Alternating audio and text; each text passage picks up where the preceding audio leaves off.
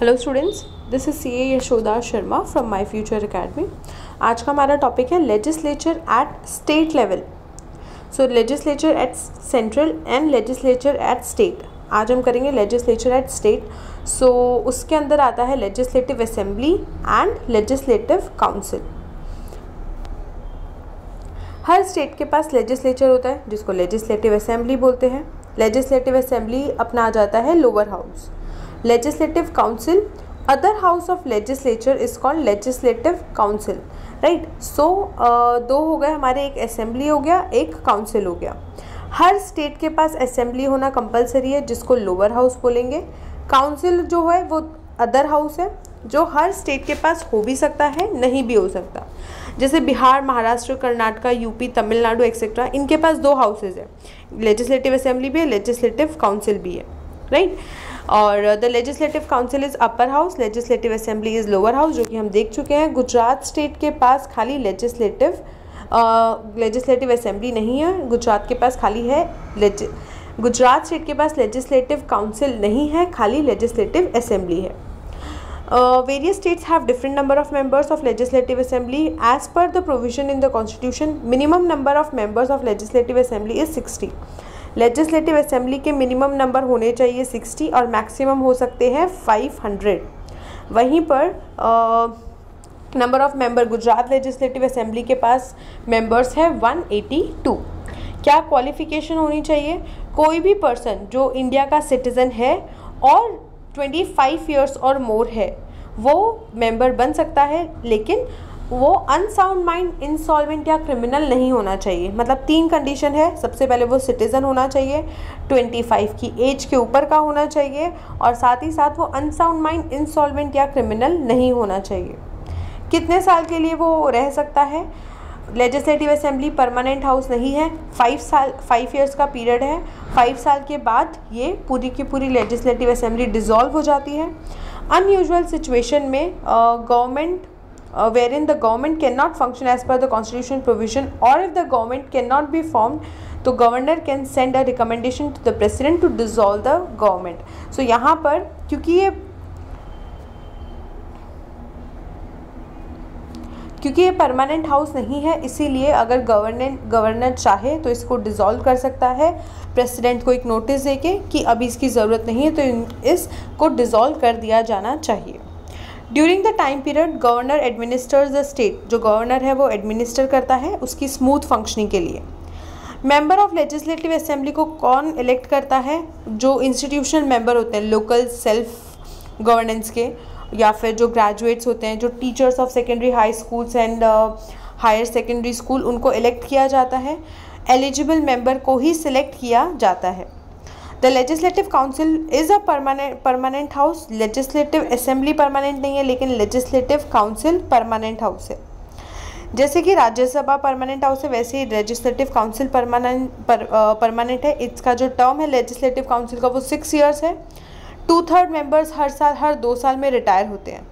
A state has to decide whether to keep the legislative council और not जैसा कि हमने बात किया लेजिस्लेटिव असेंबली होना कंपलसरी है, लेकिन लेजिस्लेटिव काउंसिल डिपेंड करता है किसी में स्टेट में हो या किसी स्टेट में नहीं हो।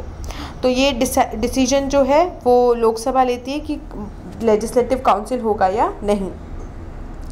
Second executive most efficient and effective and central government and central organ of the government is executive so अब हमारा टॉपिक आता है, हमारा यहाँ पर ख़त्म होता है लेजिस्लेचर जो लॉज बनाने का काम करता है। अब लॉज को इम्प्लीमेंट करने के लिए हमें चाहिए एग्जीक्यूटिव तो जो सेकेंड सबसे इंपॉर्टेंट हमारा ऑर्गन है, वो है executive union executive mean central government political executive comprising of administration of prime minister cabinet minister president vice president and bureaucrats so ये सभी लोग मिलके हमारा यूनियन एग्जीक्यूटिव्स को फॉर्म करते हैं. Political and administrative uh, officers and employees are in the direct direct of the the so यहाँ पे हमने अभी यूनियन एग्जीक्यूटिव की बात की कि यूनियन एग्जीक्यूटिव में क्या क्या होता है। एग्जीक्यूटिव क्या करता है? जो भी लेजिस्लेचर लॉज को फ्रेम करता है। हमने देखा कि किस तरीके से बिल बनाया जाता है और विल वो बिल बनता है एक्ट राइट right? और ये जो एग्जीक्यूशन का काम है वो करते हैं एग्जीक्यूटिव के people political executive changes every five years union executive में हमने देखा president prime ministers cabinet ministers होते हैं। अब हम देख रहे हैं पॉलिटिकल एग्जीक्यूटिव पॉलिटिकल एग्जीक्यूटिव हर पाँच साल में चेंज होते हैं। वहीं पर जो एडमिनिस्ट्रेटिव एग्जीक्यूटिव्स हैं, वो परमानेंट होते हैं। जैसे जो वहाँ के गवर्नमेंट के एक्सपर्ट्स हो गए ब्यूरोक्रेट्स हो गए, वो परमानेंट होते हैं। वो हर पाँच साल में चेंज नहीं होते। लेकिन वो रिटायर हो सकते हैं। अपने अकॉर्डिंग उनका एक रिटायरमेंट का टाइम होता है। Political executive are the members belonging to any political party जो पॉलिटिकल एग्जीक्यूटिव्स है, वो कोई भी पॉलिटिकल पार्टी के हो सकते हैं। उनकी जो मेन क्वालिफिकेशन है, वो ये है कि to get elected based on their individual honesty to the party public choice and public opinion public आके उनको चूज़ करती है। Service of the administrative officer is to is known as civil service आपने सुना होगा, जो एडमिनिस्ट्रेटिव uh, ऑफिसर्स की service को नाम दिया गया है civil service at the center political executive consist of center में कौन कौन पॉलिटिकल एग्जीक्यूटिव में आते हैं? President vice president prime minister cabinet minister as per the constitution तो सेंटर और union executive are one and the same so हमें अब इस टॉपिक में ये ध्यान रखना है कि कौन से कौन से लोग एग्जीक्यूटिव्स में आते हैं और उनका फ़ंक्शन क्या क्या है। फ़र्स्ट हम बात करते हैं प्रेसिडेंट की देन प्राइम मिनिस्टर ये जो सारे लोग हैं president vice president prime minister ये सभी वो लोग हैं जो कि एग्जीक्यूटिव्स में आते हैं. स्टेट एग्जीक्यूटिव्स में आ गए governor and chief ministers so यहाँ पर हम देखेंगे सेंटर और स्टेट के अकॉर्डिंग सेंटर में आ गए हमारे president vice president prime minister state executive में आते हैं हमारे गवर्नर और chief ministers so so, president हमें पता है इंडिया का जो हेड है उन्हें प्रेसिडेंट कहते हैं। प्रेसिडेंट की क्वालिफ़िकेशंस की अगर हम बात करें तो सबसे पहले तो वो सिटीज़न होने चाहिए। उनकी age thirty five years and above होनी चाहिए। अगेन अनसाउंड माइंड या इंसॉल्वेंट या क्रिमिनल नहीं होने चाहिए। Salaried employ of the government कोई भी गवर्नमेंट की जॉब में वो एम्प्लॉय नहीं होने चाहिए। सो so, यहाँ पर हम देख रहे हैं कि कौन एक एलिजिबल है प्रेसिडेंट बनने के लिए। कोई भी हाउस के मेंबर नहीं होने चाहिए। दैट इज़ लोअर हाउस या अपर हाउस राज्यसभा, लोकसभा, उनके मेंबर नहीं हो सकते प्रेसिडेंट प्रेसिडेंट का इलेक्शन इनडायरेक्टली होता है। मतलब जो भी लोकसभा और राज्यसभा के मेंबर्स हैं, वो आपस में मिलके प्रेसिडेंट का इलेक्शन करते हैं। प्रेसिडेंट फाइव ईयर्स के लिए इलेक्टेड रहते हैं और उसके बाद वो वापस से जो इलेक्शन है, वो रिकॉन्टेस्ट कर सकते हैं।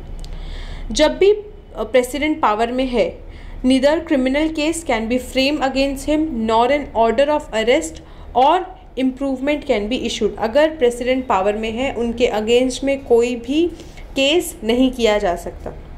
राइट सो ये हो गई qualification of president functions and powers of president he appoints the leader सबसे पहले हम देखते हैं कि क्या फ़ंक्शंस है। Leader of the party party के लीडर को अपॉइंट करने का काम है प्रेसिडेंट का।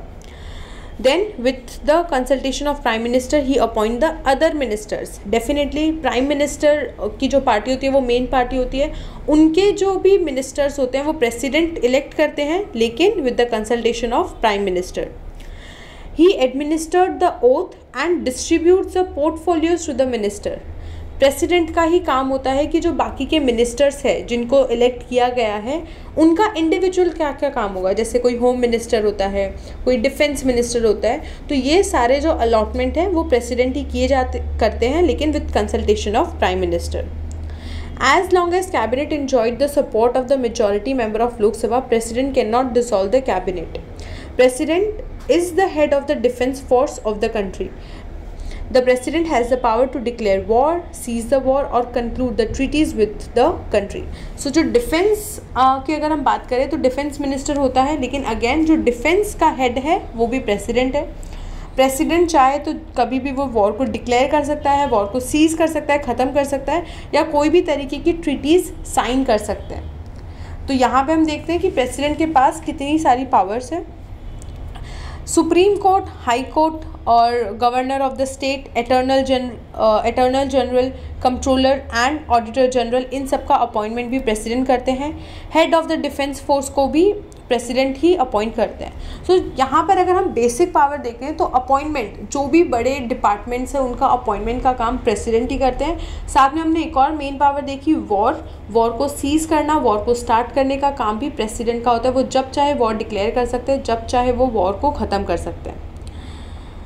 If the president is satisfied that security of India or any part of the territory is threatened by the war or external aggression or armed rebellion, he can declare a state of emergency for whole India or any part of or any part of the India.